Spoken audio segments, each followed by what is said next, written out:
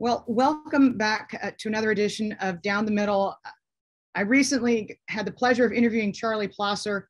He was kind of my first former Fed insider, if you will, uh, that I've been able to interview. But today we have with us uh, Joseph Wang. I've been following him on, on Twitter at FedGuy12, saying to myself, who is this guy who understands the plumbing of the financial system so well? Well, it turns out that, that Mr. Wang is the author of Central Banking 101 which I highly recommend we all read because the plumbing has become, the mechanics of the financial system have become so critical. Um, he was for five years a senior trader on the open markets desk at the Federal Reserve Bank of New York, where he executed open market operations and studied the inner workings of the financial system. Prior to that, he worked at Standard & Poor's and practiced law.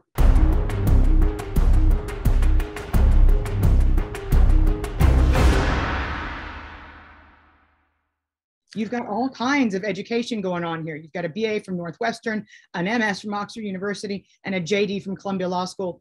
We're both Columbia alma, maters, and um, and we both we both wrote books about the Fed. Here's Fed Up, an insider's take on why the Federal Reserve is is bad for America. Your title's much kinder uh, than mine. Um, but but tell me, what were what were these last five years like before you left in June of 2021? Well, first of all, Danielle, I want to thank you for coming, for inviting me onto your show. I, I really love your show and I loved your book too. It was just a great read. And I recommend it to anyone who wants to learn more about how the Fed is, especially about the people behind the Fed. And so I worked on the open markets desk for the last five years, and it's, it was a really good learning experience. When you're on the open markets desk, you're kind of basically in one of the centers of the financial world. Um, the open market desk is basically how the, the Fed's trading desk. Mm-hmm. And so it's the trading desk that conducts QE, and it's the trading desk that does all the market intelligence for the Fed. So you have connections, you have contacts throughout the financial world. You get to talk to primary dealers, the biggest hedge funds, mutual funds, money market funds, banks.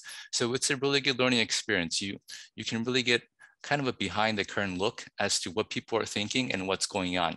And on top of that, of course, the Fed has just reams and reams of confidential data, um, just regulatory data and just things that unless you work there, you wouldn't be able to see. So you can really put together a very good holistic view of, of what's going on in the financial system and also how the mechanics of it work.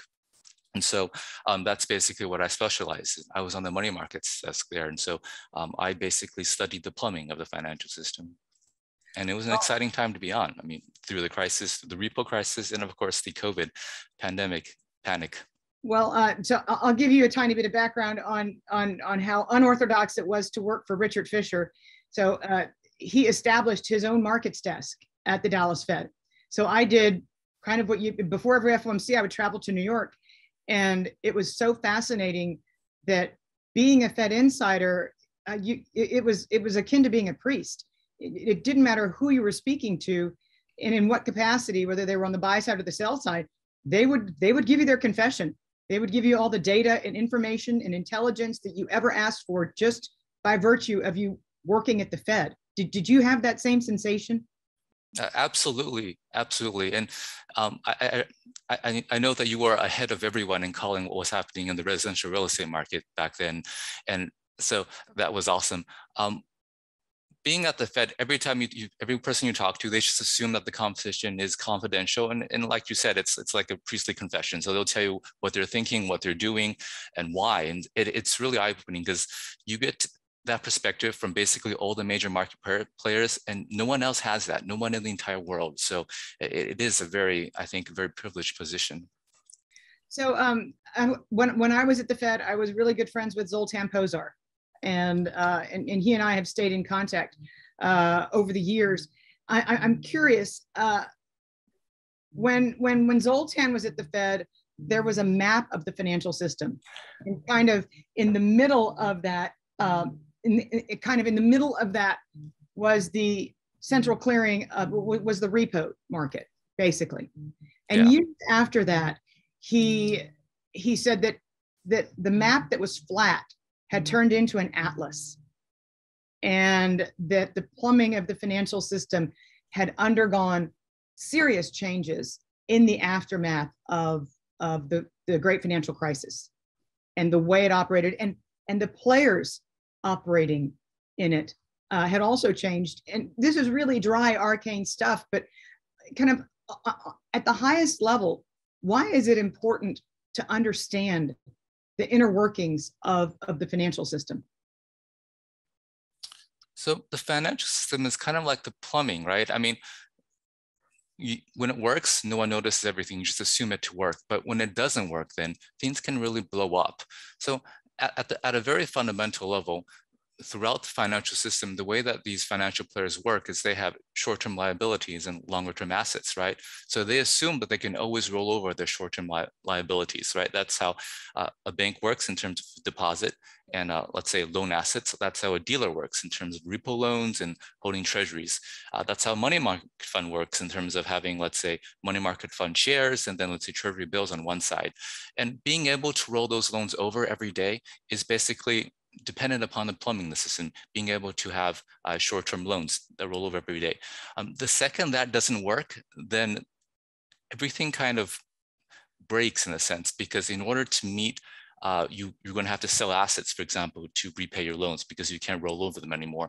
And when a lot of people do that, then asset prices start crashing and then maybe more people have to sell assets, get margin calls. And so everything blows up. And um, that's kind of why it's really important to understand the plumbing because it's kind of basically the whole system is based upon these short-term loans that um, that are assumed to work, and usually they always do. I mean, I think in September uh, a couple years ago that it did have some kind of uh, problem, and during the financial crisis it did as well. Um, but usually, though, it works fine. But when it doesn't, uh, bad things happen. Well, we, I mean, we, we, we can go all the way back to Bear Stearns, and yeah that was your absolute classic textbook example. If you can explain kind of what happened at Bear Stearns, just as kind of a primer of what happens when you can't roll those those funds over. Right. So Bear Stearns has Bear Stearns was a big dealer back then, right? And they had, and not just Bear Stearns uh, to begin with, and later Lehman as well. They were basically a dealer, and the dealers functioned by having um, longer term assets and borrowing overnight in the repo market.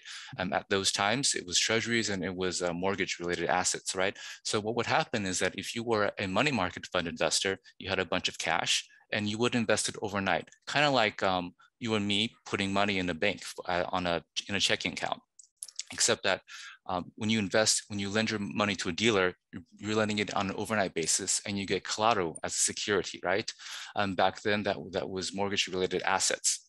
Now, the way that you the way that you make money as a dealer, well, there's a lot of ways, but one of them is that you could, for example, um, fund these assets in the overnight market, and then you wait for someone to sell, wait for someone who wants to buy them, right? So you're holding inventory, or maybe you try to collect a little bit of that roll.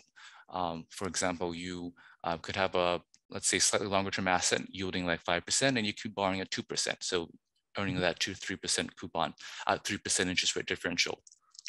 And this all works as long as you can continue to get funded, as long as people continue to lend you money on a short-term basis.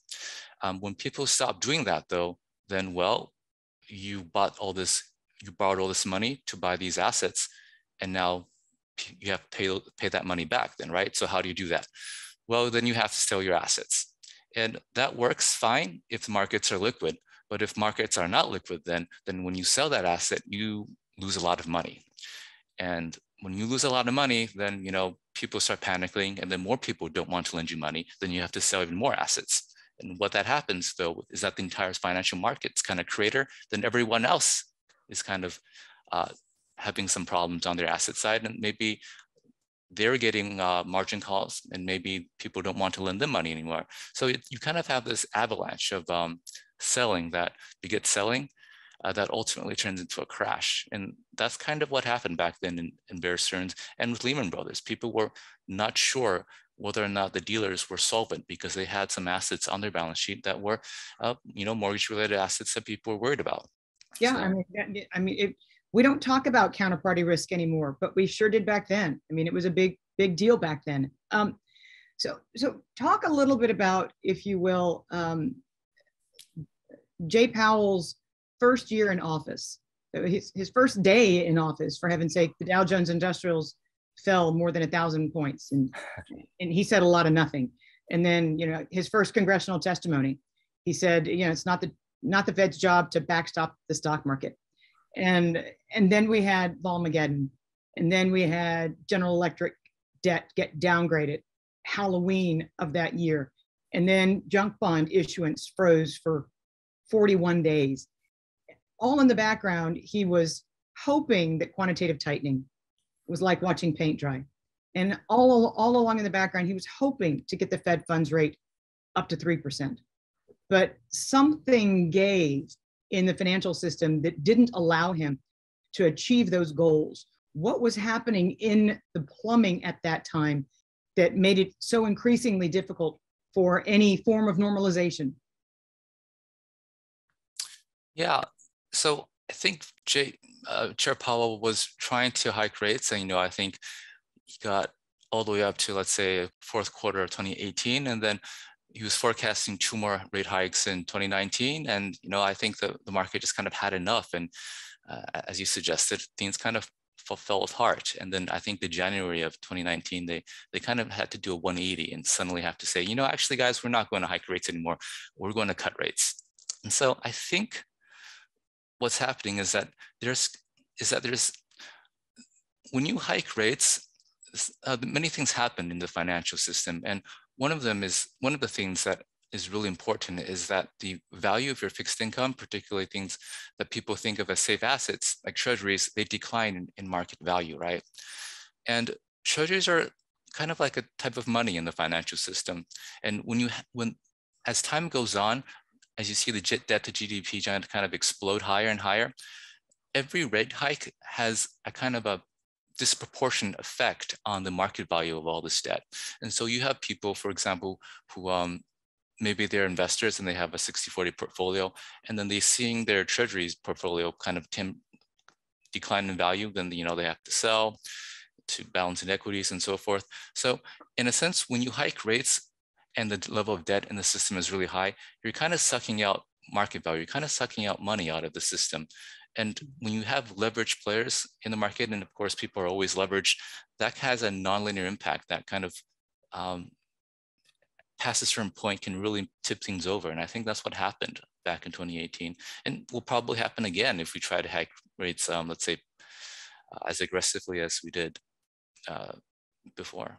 And it wasn't even that aggressive we'll, we'll, we'll get there. I promise we'll get there. Um, I'm, I'm curious about your views about um, kind of the reaction function of, of, of the Fed, how it's become a reactionary institute, especially against the backdrop of the introduction more than a year ago now of average inflation targeting the idea of letting inflation run hot. This was uh, kind of the this was kind of a refutation, if you will, of the Taylor rule of any disciplined approach, rules-based approach to uh, to central banking.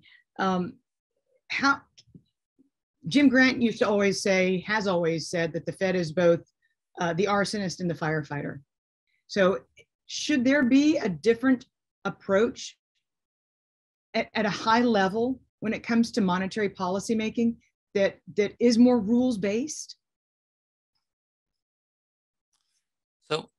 You know, the Fed has an inflation targeting regime. I, have always thought that was somewhat humorous because I think one of the things that you can clearly see, not just looking at the Fed, but in Japan and the ECB, for example, is that central banks actually don't have the power to create inflation.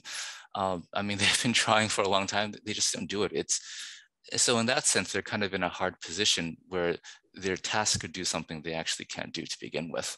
Um, so that's that's one thing. But having a rules-based approach, I think there are benefits to it. The, the benefits obviously is that it's transparent and that, that people can react to it and plan according to it. And I think that's pretty important in markets, being able to actually have an understanding of what the Fed's reaction function is. Because if you don't understand it and the Fed does something that surprises the markets, you know, you could have some, you know, we could have some blowups and that that's not good. But the bad thing, of course, is, is the flexibility aspect. When you have rules then you know maybe you have that acts as a constraint and maybe you are bound to them uh, to some extent. Now, um, looking at today, for example, we have an average inflation targeting rule, but then you know, just independent of the Fed outside of the box, you have this enormous fiscal stimulus that's pushing up inflation, right?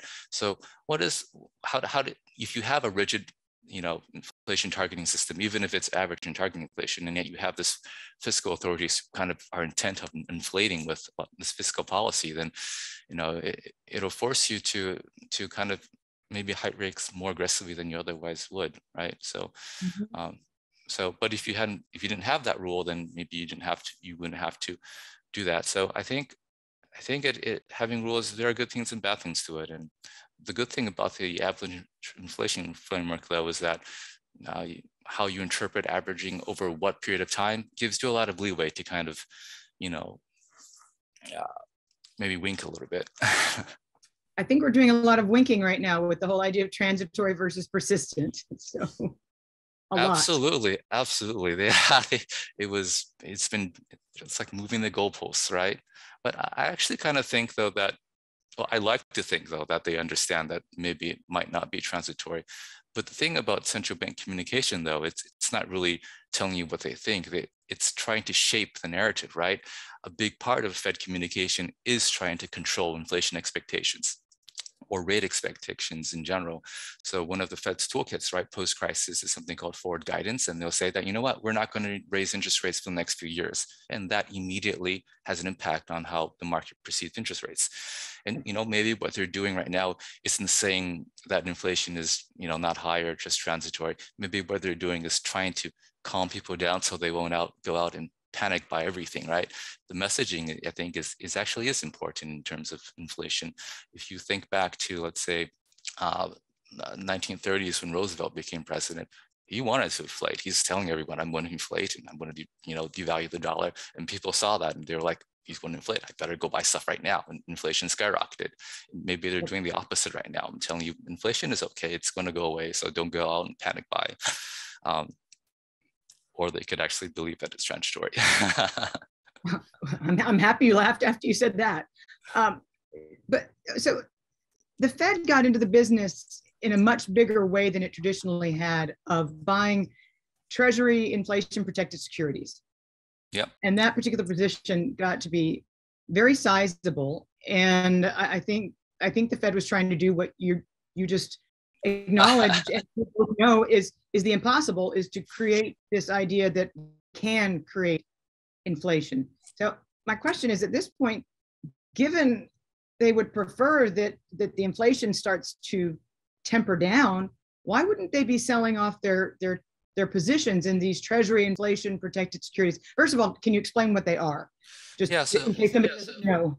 So so tips are basically uh, uh, they're securities that whose principal adjusts with CPI. So in the sense that you're getting a real return rather than just a, a nominal return. And the way that tips trade is that people take the difference between, let's say, a 10-year nominal treasury and a 10-year tips and take that difference in yield and just assume that's the market implied uh, uh, inflation rate, tips implied inflation rate. And um, as you alluded to, the Fed kind of bought a lot of tips in the past couple years, and that was pushing down the tips real yields um, pretty low, and that was making market implied inflation seem larger than than I think what some people thought it should be. And there mm-hmm. there was some there was some uh, I think commentary that maybe the Fed is doing this to kind of make inflation look larger um, than I, it is. I might have written something about that a few times. you know, I was on the desk back then, and there was actually some research by the BIS who just kind of came out, and the BIS is like a, a, respectable authority that you know central bankers respect, and they're like, you know, I think the tips implied inflation is wider than than than it ought to be because the Fed is buying all the tips.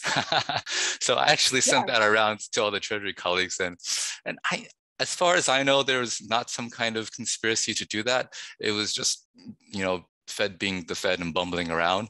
But um, but uh, yeah, maybe, maybe there was some kind of uh, maybe someone someone did think that way. Um, I was not aware of it, but but, but yeah, that that did give the impression that inflation was, um, I guess, higher than it than it uh, otherwise would be if the Fed was not buying so many tips. So couldn't they, in theory, start to more aggressively temper back their their position in that market? They could, they could, yeah. So well, the, the way that the Fed does QE is that they try to make it, um, they try to make their purchases in proportion to the amount of treasuries outstanding. So for example, if you know 10% of the just if 10% of the treasuries market were tips, 10% were 10 years, then they would try to um, partial out their QE purchases in that say. So 10% mm-hmm. of purchases go to tips, 10% go to treasuries. But you know that's that's the theory, and and sometimes maybe things get lost in the details. Mm-hmm. Yeah. Um, if you were to look at say R squared, first of all, what is it? What what does what do certain rules and models at this juncture tell us uh, where you know in terms of where the Fed funds rate should be? Yeah, so I think people look at this in, in different ways, right? They, they, there's like the you know shadow fund funds rate, I guess, and things like that. Mm-hmm. I'm, right. I'm myself, I'm not too big of a fan of these economic models, and that's part of the reason why I like Chair Powell. I mean, I remember when he first started, he's you know he's not an economist. He's like, yeah, these models are great, but they're kind of for reference only.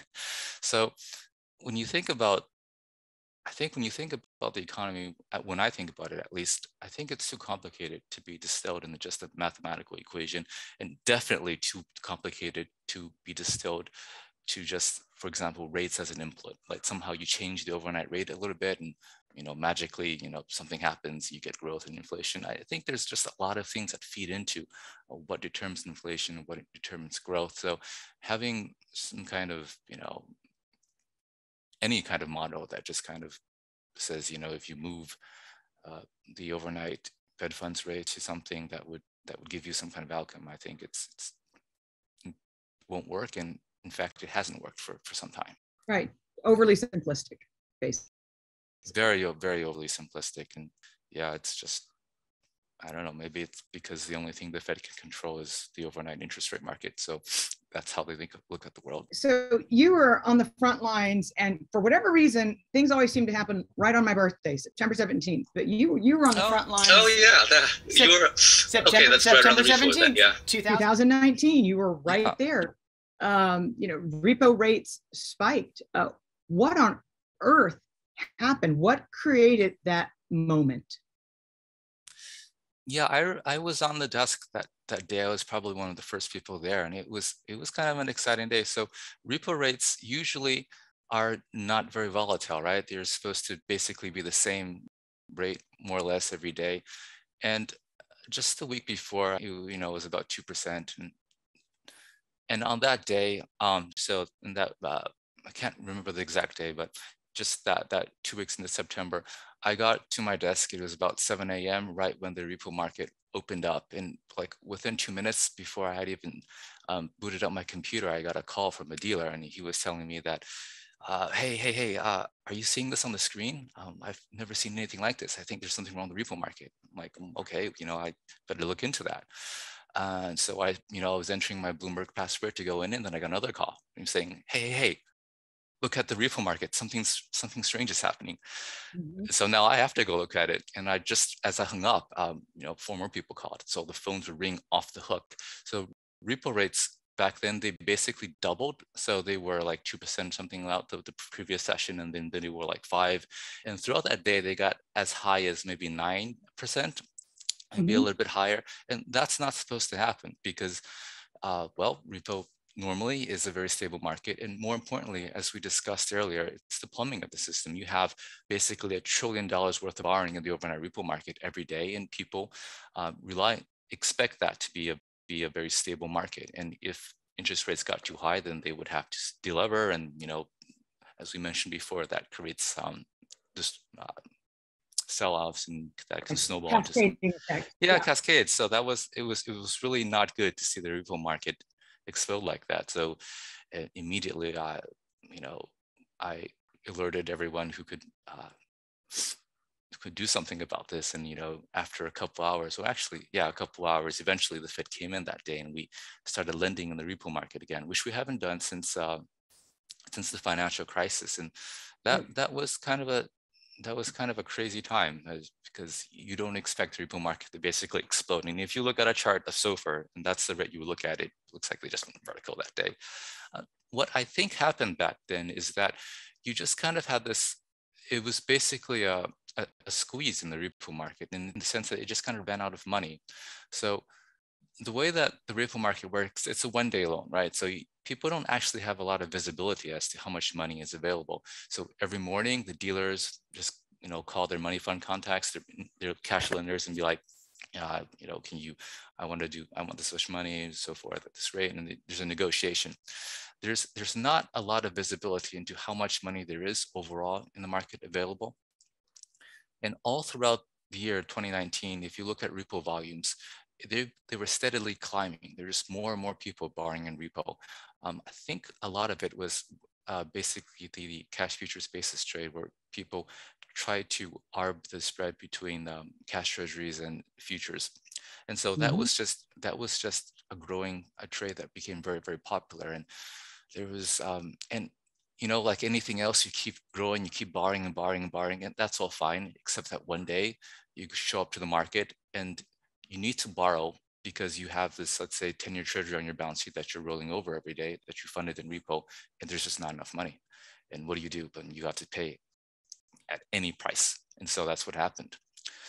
And what the reason why it ran out of money is that just because that there just wasn't enough lender. Uh, so the lenders at that time were largely the commercial banks.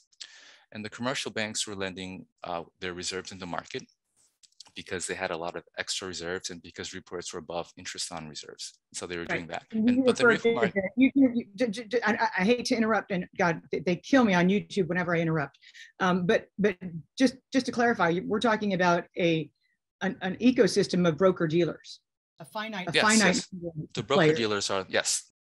Broker dealers are the borrowers in the repo market. So how this works is that broker dealers borrow from cash lenders in the repo market. They borrow for two reasons. One is to fund their own book of securities. The other is to uh, loan, is to pass the money on to their hedge fund clients. So basically, uh, it's like they're borrowing overnight and then lending for a two-week term to, let's say, a hedge fund client who is uh, who also wants to, uh, who's who's also having a levered position in treasuries. So mm-hmm. that's that's how this works.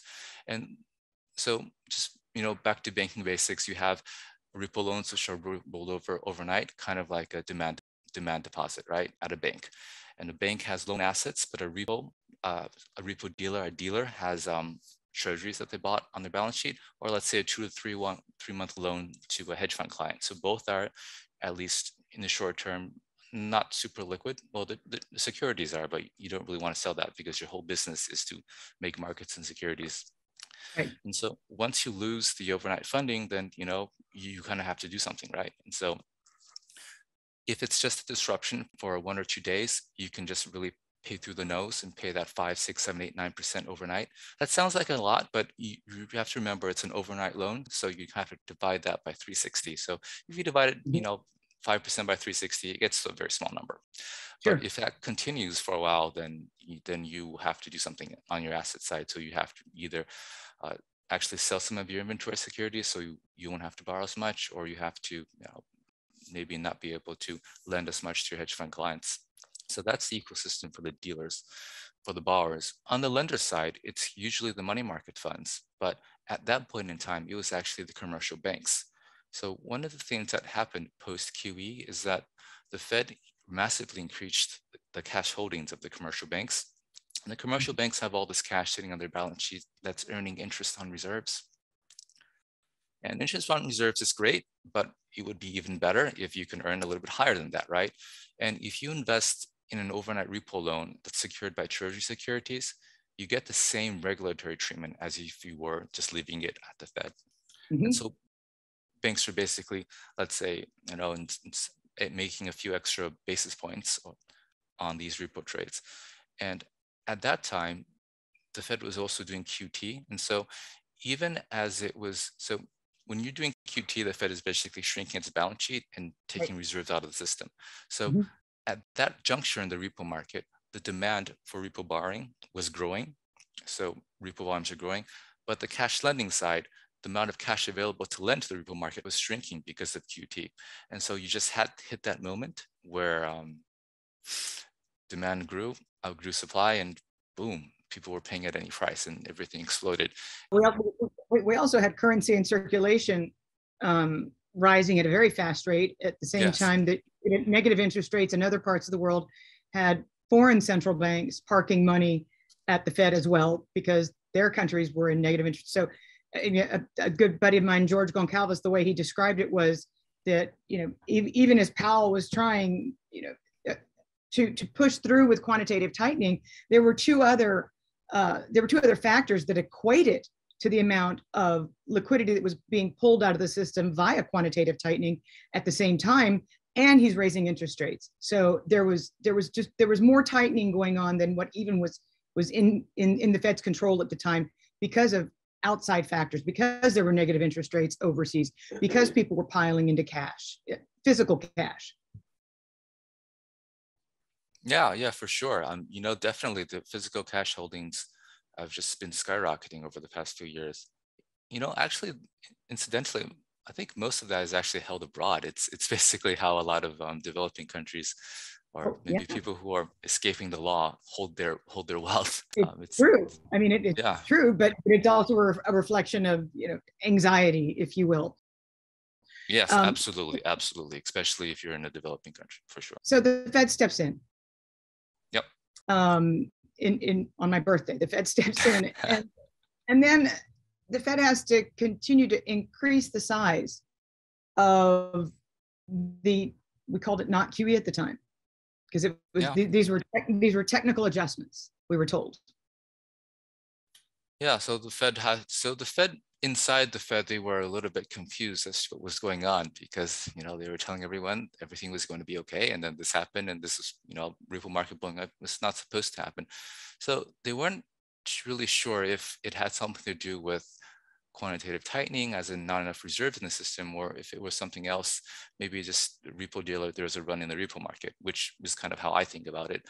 Um, so they did two things. They started lending into the repo market through the open markets desk, and they started doing, you know, buying treasury bills, which is increasing level of reserves in the system. So they did both just to be sure um, that this would not happen again. And yeah, that that was that that seemed to fix it. Repo rates, you know, normalized and went back to sleep again, which um, which which was good. So, uh, what are so yeah, that that they started buying those treasury bills, and those bills are actually still on their balance sheet too.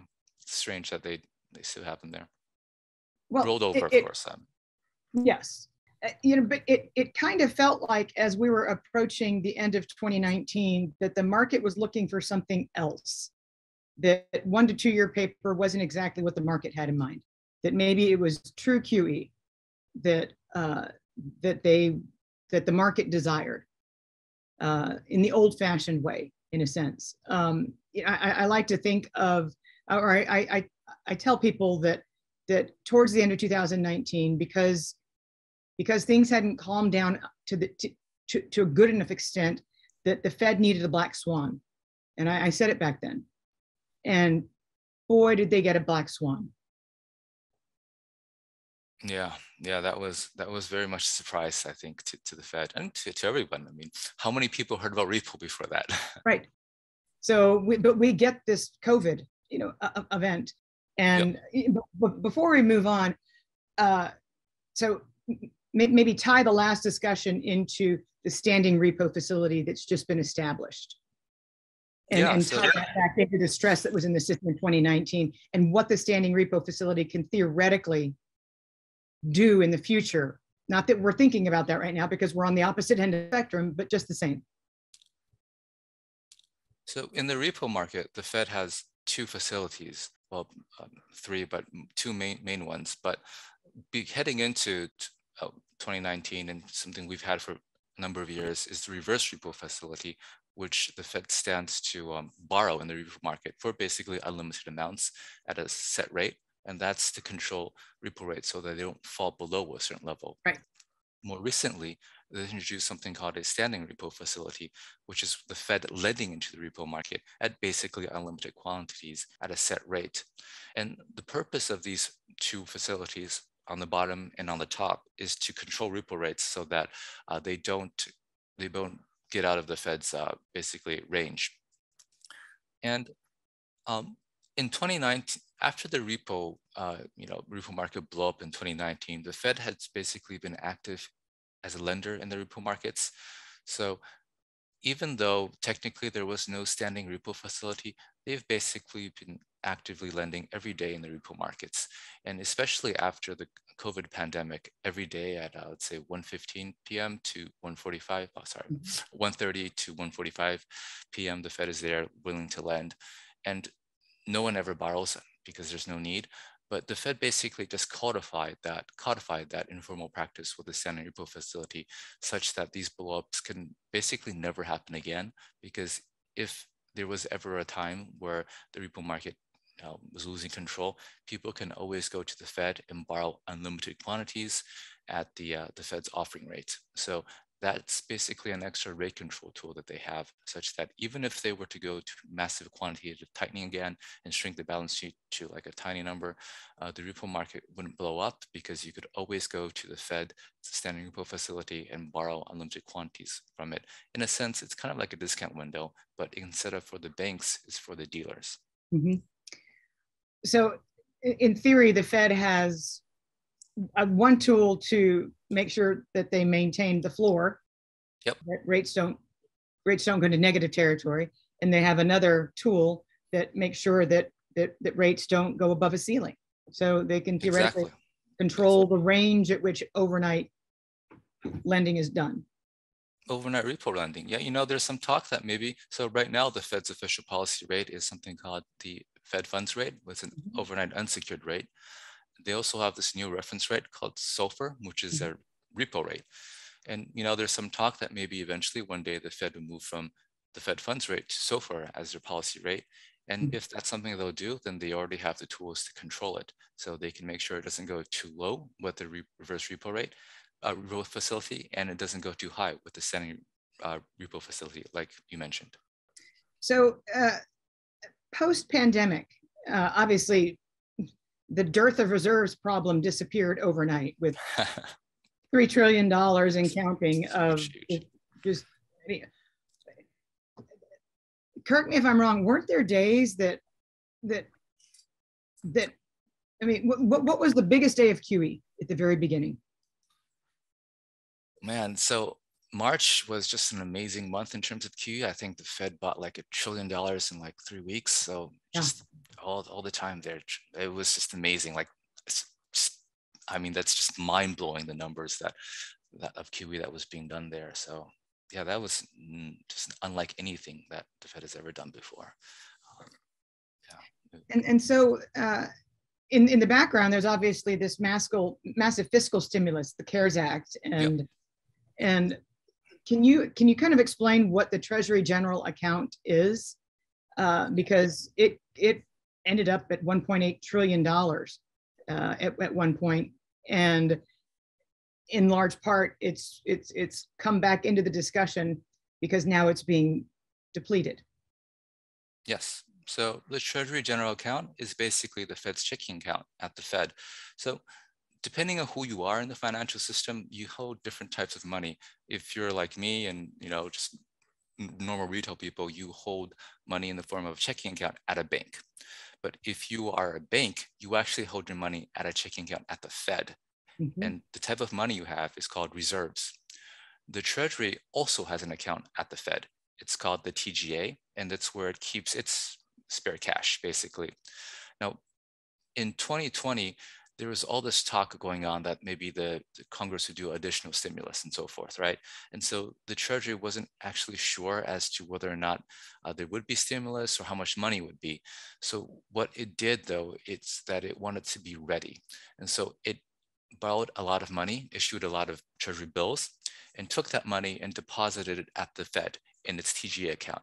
And you saw that account just skyrocket to over a trillion, like you mentioned, it's the highest it's ever been.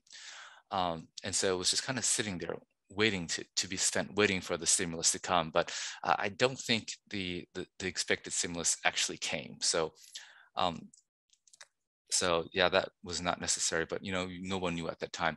But right now the TGA account is being emptied and it's, uh, you know, 100 below 100 billion, I believe. So it's been dropped, it's been dropped a lot. And the reason for that is has to do with the debt ceiling. So the way, as we all know, the Treasury has, uh, well, the US government has a limit as to how much debt it can hold, right? It can issue. And unless that debt ceiling is lifted, it can't issue any more debt. So in order to stay above the debt ceiling, the Fed, uh, the Treasury is basically paying down some of its bills using the TGA account. And that gives it more room to maintain its normal coupon issuance. Mm-hmm. So um, just I'll step back a little bit. So Treasury issues coupons, which are basically, let's say, longer term debt that mature one year or more, and they issue bills, which are shorter term debt that matures within one year. The way that Treasury likes to manage itself is that it wants to keep its coupon issuance pretty steady, and it wants to use bills to manage its day-to-day cash uh, cash needs. So when there are emergency variable, so a exactly, target. Yeah, exactly. So when there are sudden emergency needs for cash, like in uh, like during the pandemic, they issued a couple trillion in bills without changing coupon issuance very much. And that's what mm-hmm. those are for. They can, uh, but right now though, they want to keep their coupon issuance steady. So um, as they try to cut down on debt, they're cutting down on bills. And so they're paying down their bills with their TGA account. So that's kind of going down, down, down. Yep. But eventually when the debt ceiling is raised, then that will go back up as Treasury can resume more bill issuance. Well, so the, on the other side of that, we continue to see massive growth in the size of the reverse repo facility yes. as the as the as the Treasury General Account balance was drawn down. Uh, so at at some point, if it's overnight, and I've, I've asked this question, I think I've even asked this question of you on Twitter, but at some point, if it's a trillion or 1.6 trillion, or heaven knows it might get up to $2 trillion by, by the end of December, at some point, if it's very large amounts, even though they're overnight, does it, does it, is it tantamount to tightening? I don't think so. No, I, I don't think so. Um, I think the way to think about this is just to think about it from an investor standpoint. So if you're an investor, right? So you can you, you put your money um, you can put your money in a bank or you can put your money in a money market fund, right? Uh, just, just assume that. Um, in that sense, though, that from, from your perspective, it doesn't really matter. Um, okay, so when you when when when people when a money market though the people invest in the RRP, right? Mm-hmm. They are money market funds, right? And so when they invest into the RRP, what they're doing to settle that transaction, so the banks have to the banks have to lose reserves and send it to the Fed. So in that sense, the banking sector has less liquidity because it has to settle a transaction with the Fed. And so reserves leave the bank's reserve account and go to the Fed's RRP facility. So in that sense, it reduces the amount of liquidity held in the banking sector. Mm-hmm. So that's that's from the perspective of the banks. But from the perspective of, let's say, investors, though, uh, there's there's really no difference. And basically, instead of holding, uh, you, yeah, I mean, basically, you still hold a money market fund share or you still hold a bank deposit. It, it doesn't really change anything from your perspective. Um, but it could slightly reduce the amount of liquidity in the banking sector. But the thing is, though, it's actually banks actually like that. So one of the restrictions upon banks post-crisis is something called a uh, leverage ratio and a supplementary leverage ratio. Mm-hmm. And that means a bank can only have so much, uh, can only get so big. It sounds strange, but banks can actually, you know, have too much, too much assets, too much money. So um, when, when you do QE, you actually stuff the banks with so much liquidity that it pushes against the regulatory ratios so that they can't get uh, any bigger. Mm-hmm. And one of the ways that they can actually get have some relief from this is if they push money out of their bank um, into, let's say, a money market fund, who then invests in the RP and shrinks the overall bank's balance sheet. So it's it's actually a helpful thing for the financial system. Um, let's let's take this one step further because uh, there have been some papers written, some white papers written. Um, the G30 uh, put a paper out recently that walked through many steps that the Fed could take uh, to ensure that what happened in March of 2020 was never able to recur again. I, am I'm, I'm sure you were there when in, in overnight trading in Asia, you, you couldn't trade the long bond. Um, so it was a highly unusual circumstance. Uh, but but the G30 has has has started to uh, has not started to. The, the G30 came out with a paper endorsing uh, the idea of something called swing pricing. And the idea of, we know that in March of 2020, that when the stock market would fall by a certain percentage point, that circuit breakers would kick in and trading would be halted. There's an idea that the, the Fed could actually come in and implement the same type of mechanism, but in the bond market itself. And I'm talking about the corporate bond market. Uh, what are your thoughts on that? Yeah, that I I don't. Yeah, I'm not. I'm not too sure. I haven't really thought about that. That I think it's good to have a price for liquidity, and but uh, yeah, no, I, I'm not too sure about that. Well, yeah, then, no, I haven't thought about that that much. We're going to have to come back and talk about that then. Um, okay. But the, the same G30 paper also addressed the issue of the central clearing of treasuries. Yes. And the idea that uh, that the broker dealer community being as as as small of a cohort as it is, uh, that that that universe be broadened out and that there and that treasuries are centrally cleared. Maybe you can walk me through what percentage of the market is cleared in the broker dealer community and what central clearing of treasuries would actually would actually do. Because again you know you're talking about the fed trying to with its standing repo facility and its reverse repo facility trying to make sure that it controls the ceiling and, and the floor in, in, in the repo market. This would be something that ensured liquidity in the entire treasury market. Yeah, so the, the treasury market is, you know, broadly broken up into like an interdealer market where, where dealers trade with each other, mm-hmm. and a dealer to client market where dealers trade to trade with, let's say, an investment fund wants to buy a treasury, then they would call up their dealer and be like, "Hey, I would like to buy a 10-year on the run. Can you sell it to me?" And they would give a quote. Um, so the interdealer market is is cleared, but the, the market for dealer to customer is not cleared. And what that means is if you have a cleared market, then eventually at the end of the day, all the trades face the clearinghouse. So that helps you save on counter, uh, that's control counterparty risk, but it also allows you to net your transactions. So it allows you to save on balance sheet. So let's say, you know, if, if I owe the central party this much money and someone else, and it owes me the same amount of money, then that nets out, right? Otherwise, it'd have to be a gross transaction. And that takes up balance sheet. And one of the impetuses for, for central clearing is that um, there's a thought that back during March, that one of the reasons why there was there was trouble. So just to step back, so what happened during March was that the dealers basically um, were not able to make markets in treasury treasury securities, and that was very strange because usually we think of treasuries as the deepest and most liquid market in the world. You're supposed to be able to sell treasuries instantly, um, but back then that wasn't possible, and that was tremendously distressing because treasuries are basically like a form of money in the financial system, and calling up your dealer and not being able to sell your treasuries is just like going to the bank and selling and the bank telling you sorry you can't withdraw anything so that that is all sorts of distressing and there are many reasons for why that didn't happen back that that happened back then. But one of the reasons people thought was perhaps the dealers did not have enough balance sheet space. So they basically, everyone was selling them securities and they were not able to hold anymore. So they couldn't make markets. And one of the ways that you can potentially give more balance sheet space to dealers, though, is if you had centrally cleared treasuries, because in the payments, then everyone would be facing the central clearinghouse, and that would give them more space under the under the regulations. Uh, to, so they can net their net their payments, and so they would have more space to hold more treasuries. And I think that's that's I mean obviously having more having a central clearinghouse is is good for managing risk and it's good for saving balance sheets. So I think that's a really good thing.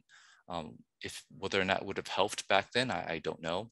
Um, mm-hmm. One of the things that I think we've come to learn is that um, it's not so much that there was not enough um, balance sheet space as to when there's a lot of volatility you just kind of dealers just don't want to make markets mm. because you could buy something the price can move a lot then you could end up losing money so it's just kind of prudent risk management so you know let's say you buy something for seven dollars and you, you want to sell it for ten dollars right but if the price is fluctuating a lot maybe you buy something for seven dollars and you can only sell it for six and you lose money so um, i think when you have really volatile pricing it's just more difficult to make markets and maybe having centric clearing would have helped then but um, I think it was it, probably not the only thing that mattered. Well, what would the implications be in terms of profit, profitability for the primary dealer community if if we were to have such a central clearing of treasuries? Well, central clearing usually makes markets, I guess, more efficient. So that makes the spreads narrower or maybe makes it less profitable. So at the same time, it also makes it less costly, right? And less risky. So it's, but if you look at the overall trend in the markets, I mean, let's say interest rate swaps, for example, they're all centrally cleared now. Um, and, and uh, so I think that's the trend towards all markets. And it's just, uh, I think for maybe it makes trades less profitable for banks and dealers, but overall it does make the financial system safer. So it's not mm-hmm. necessarily a bad thing. Um, so I've got uh, I've got a question or two that's come in from Randy Woodward here. I love Randy's. Randy's amazing. He's he's a great client. Um, so in your book, Central Banking 101, you referred to the to the central banking community as a surprisingly tight knit group. You go on to describe how many of the central banks, European Central Bank, Bank of England, and especially the Bank of Japan, not only have regular meetings but send staff to work on the New York Fed's trading desk for periods of time. How do you think that affects policy between central banks? And do you feel one has more influence over the others, or does it ebb and flow? But most importantly, do you think actions by one bank, namely the Bank of Japan, can predict where the other central banks will head if need be? Specifically, do you think the Fed will buy equity exchange traded funds if they feel it's necessary? That was a big question yeah, Japan does seem to seem to be the leader in the in central banking policy, right? They did QE in size before anyone did. They were buying all sorts of assets before anyone did. Um, so I think one thing to keep in mind is that um, the central banking community, at least in the Western world, in the advanced countries, they all kind of have similar uh, structures in their economy, similar, you know, uh, Western democratic framework. They also have people who went to the same schools, right? For, I mean, uh, for example, Mario Draghi went to MIT and, you know, as did many other very prominent Fed people. So they, they think of the world in, in, a, in a similar way. So that's part of the reason why there's kind of a policy convergence. Fed has these, so, so during the last pandemic, the Fed bought, um, you know, corporate debt, right? And maybe a little bit of junk and not a lot overall, I think they bought maybe 12, 13 billion. And it was you very know, nominal. A, it was yeah. nominal, but but it worked wonders. People saw that and just I think the bond market went on fire. Just yeah. on fire. Well, I mean, it was it was 10 trillion dollars on February the 19th, outstanding. I, I, for whatever yeah. reason, I remember February the 19th, I saw an article that said the US bond market has just passed the 10 trillion milestone. Now it's pushing 11.5. Yeah, everyone wants to buy what the Fed is buying, right? Can't lose. so that's so they thought. So I think if you ask someone 10 years ago whether or not the Fed would buy, uh, you know, junk bonds, it would be no, right? So uh, when I when I was inside the Fed, we had that debate, and the answer yeah. was absolutely not. We talked about municipal bonds. The answer was absolutely not. And there was a big old debate about even mortgage-backed securities back then. That was even yeah. seen as credit easing and, and trying to alleviate one particular sector of the economy, which is a, a no-no. Well, it was a no-no at the Fed. So the Fed has done things that no one thought it would could do before. And I think people would like to say that's not legal or something like that, but I, I don't actually think that's the right standard when you when you talk about government, because the government kind of makes the rules. And so there really is no law that binds them. They could always find a loophole in a way. In this case, they basically had Treasury put down equity and then they basically lend to that. So they had a special investment vehicle, had Treasury put up equity as a first loss, and then lent to that special investment vehicle, and that special investment vehicle bought, bought, let's say, credit assets. And so they could easily do the same for equities. And, you know, I have no doubt that if the stock market crashed tremendously, that they would do something like that. It's, it's just that the stock market is so systemically important. Um, it's where basically the vast majority of people you know, put their retirement savings and including people at the Fed, right? I'm sure many, many Fed officials wake up every day and log into their retirement account and look forward to that day when they can retire and they don't like they don't like it when they wake up and see it down 20 30% so there is some self-interest there and that's involved um, if you look across the advanced economies like Randy mentioned, the Bank of Japan has been buying equities, Swiss National Bank as well mm-hmm. buys a lot of US equities actually.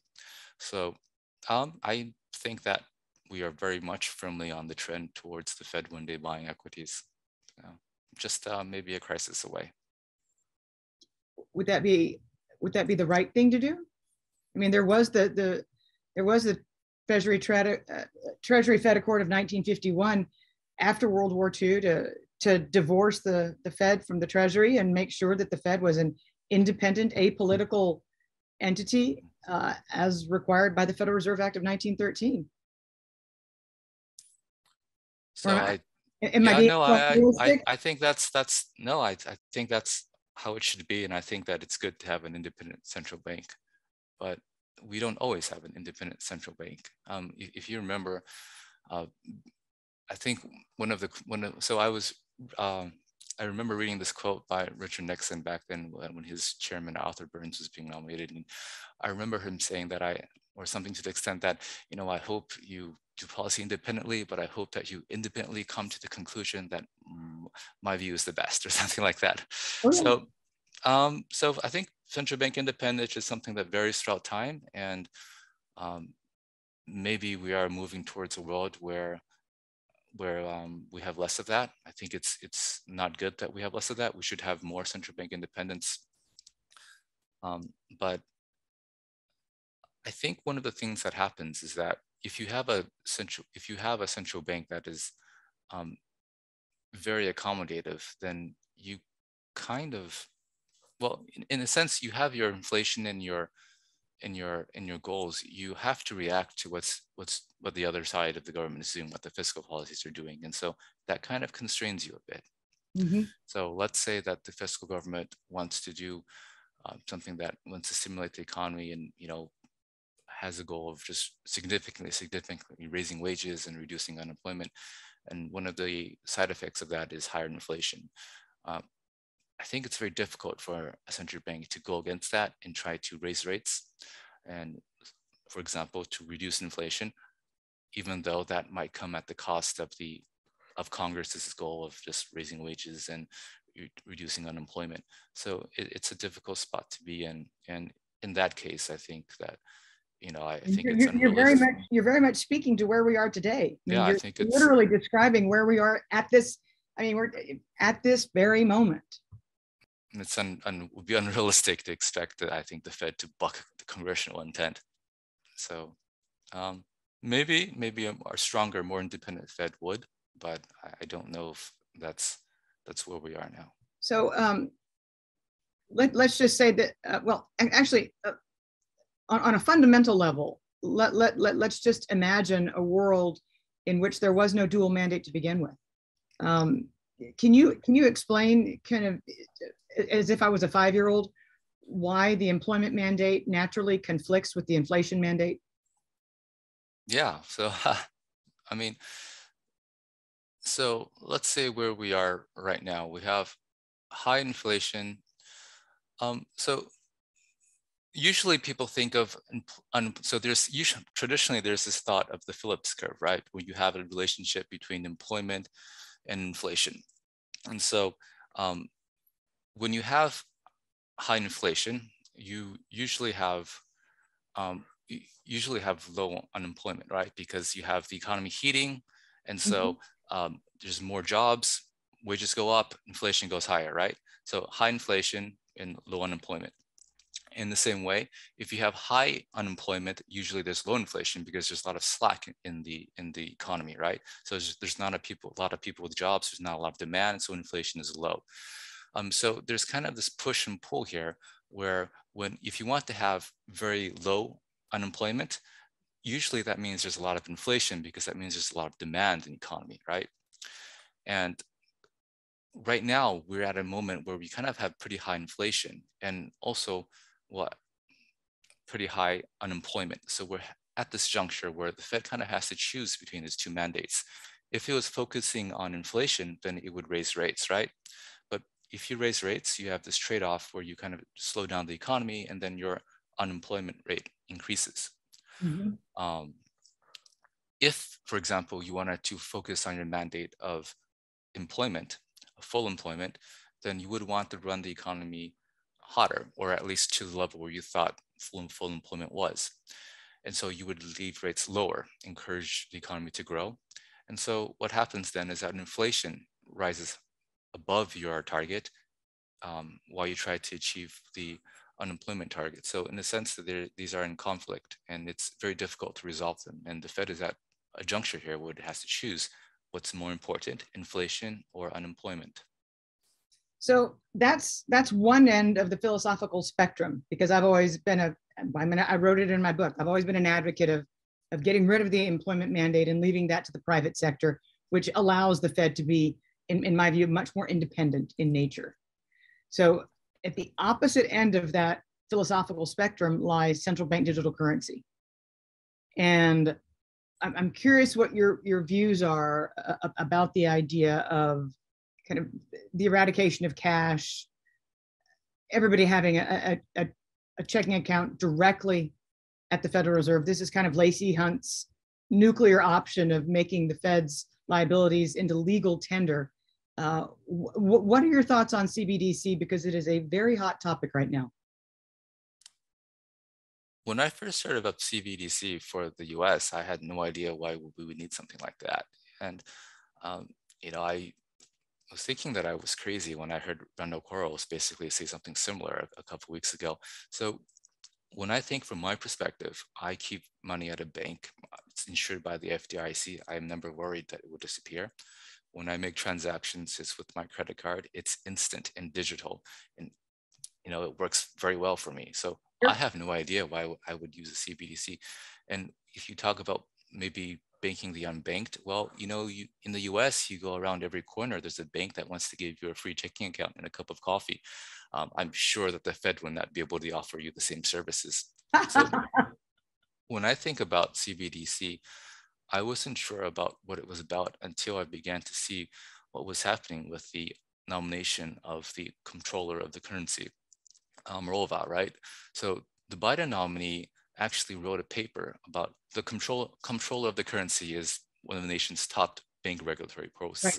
And the nominee for that has written papers on CBDCs and, and banking. And her views are that the entire banking sector should be socialized. Everyone should have an account at the central bank, and the central bank should decide directly or indirectly who gets loans. And it's basically, uh, you know, uh, Soviet or Soviet system, basically just, you know, or actually indirectly uh, Chinese system as well. Basically, the government decides you keep all your money with the government and the government decides who gets loans. It's the complete opposite of our free market system. Um, so the only way that CBDs make sense, I think, is in the context of that plan. And it, it does seem like that there's an effort to move towards that plan. So um, I hope that doesn't happen. I think that is not a good direction for our economy. No. But if the, I don't think CBDs make sense for us unless that's the that's the uh, banking model that uh, the some people want to move us to. Well, um, I'm happy that you're pulling with me to fight this, and and I, I really do think that this is at the very core of the the the discord between Lael Brainard and, and Jay Powell. Because if you think of an Omarova Brainard team, that would be the dream team for universal basic income, uh, effectively and, and, and implementing a CBDC. So, uh, so we so, can yeah, hope. There was, so if you think about the pandemic, they, there was kind of a test for that, right? But this time it was done through the banking sector. So basically the treasury passed out a whole bunch of checks to everyone and the Fed mm-hmm. funded it through its massive QE. So it oh. was basically the, uh, you know, basic income, but it was done through the banking sector. Um, a CBDC would allow them to just kind of bypass this whole banking sector thing and just send money directly uh, to people. And and boy, would we have inflation. I think it's happening as we speak. well, that's I, I, I tell people that we've taken universal basic income on a test drive, and we've seen what the result is, and it's more inflation than we've seen in our lifetimes. So, um, so there's a lot of talk right now about policy errors and before we get to where we are today and, and wind up our discussion, I'm curious, do you think Do you think Lehman was a policy error? Yes, actually, I do. Um, because it kind of brought down the entire financial system, right? So okay. if we say Lehman, I, I would have that. I, uh, okay, I, I so think it's, it's, a rhetorical question to you and me. That's good news, but, but there's still a lot of debate that surrounds it. So no, no, it's good that I mean we should have saved Lehman because I mean that really destroyed the financial system. We could, Lehman was too big to fail. And if we saved Lehman, there would not been no great financial crisis. And I think that would have saved a lot of destruction to the real economy and to the mm-hmm. financial economy and to like a, so here, when I was a lawyer, actually, one of the cases I worked on was um, on the Lehman Brothers bankruptcy. And uh, I worked at a firm that represented the unsecured creditors for the Lehman Brothers. And we would get letters just from ordinary people who who would send uh, who were creditors who put their money with Lehman, invest in Lehman, saying that I lost everything. You know, please help me get my money back. So that was that was there were a lot of real people and who who got hurt there, and that would not have happened if we saved Lehman. I um I, I happen to wholeheartedly agree. Um, let's let's end this discussion and promise to come back and revisit all of these subjects um, with the question of what should the Fed do? What can the Fed do? Honestly, I, I, I don't think the I don't think the Fed can do. I think the Fed is trapped, and that's just so. This is how I think about it, right? So you have inflation that's driven because the, the fiscal authorities are giving people a lot of money, and there may be some supply constraints as well. If you raise rates, that's not actually going to work that well in the contemporary banking system and there's some structural reasons for that, but one of them is that if you were to raise rates, it, it doesn't actually tampen down on demand because none of that feeds through to, to, to normal people. Um, usually what happens when you raise rates, it works in two ways. One is that it restricts the supply of credit by making it more expensive for a bank to make loans. So if a bank is borrowing in money markets to fund its loans, then when the Fed raises its interest rates, then the cost of funds increases and then the, bank is more reluctant to make loans because it's less profitable unless it marks up. Um, what we're happening right now post QE is that the banking system is awash in deposits. And so there's not a lot of, uh, and banks don't really use money market funding anyway. From a regulation standpoint, it's too costly. So that's not going to decrease the, increase the costs of funding for banks. And from another, so that channel won't work. The other channel is that it makes, it creates an opportunity cost for consumers. Whereas let's say um, money market rates are 1%, maybe I'm less inclined to spend that money. But by that same channel that I mentioned before, the bank is not going to raise the interest it's offering to its checking accounts because it has so many deposits in the banking system after QE. So even if the Fed raised interest rates by one or 200%, it's really not going to feed into the real economy um, through those two channels. So that's not going to work a lot. But what it will do, though, I think it is will severely damage financial assets, and that could end up um, creating some kind of cascade like we saw in 2018. And so you can't really fine tune this that much. It's either a little that does nothing or a lot that just kind of destroys the financial market. So it's a difficult place to be in.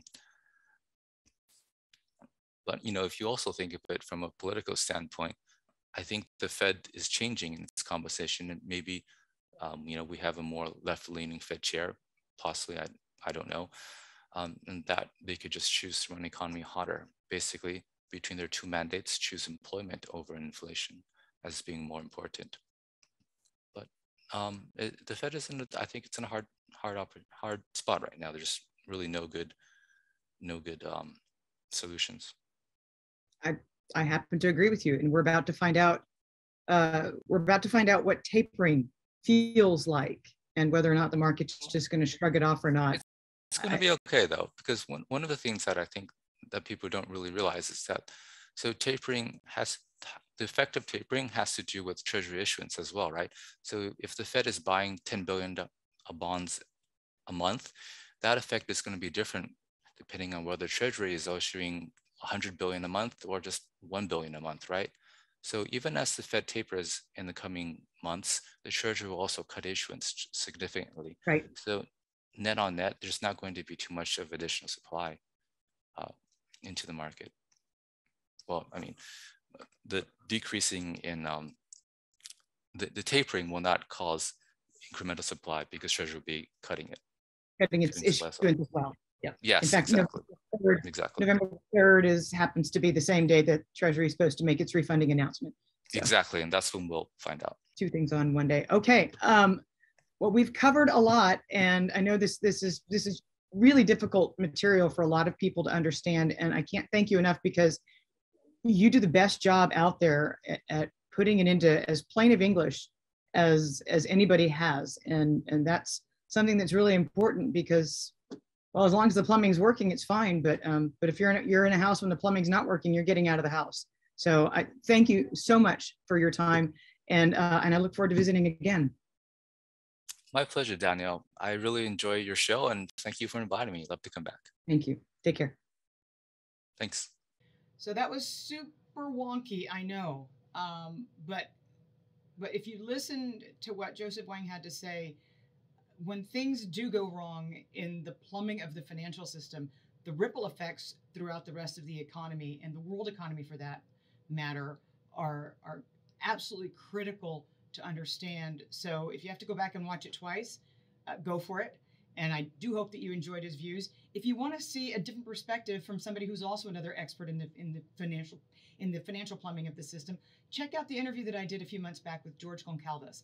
And he also provides great perspective into this arcane world that, again, is so critically important for investors to understand. I do hope you enjoyed this episode. Subscribe to the channel if you have not yet, and I look forward to the next time. This is Danielle DiMartino Booth with Down the Middle.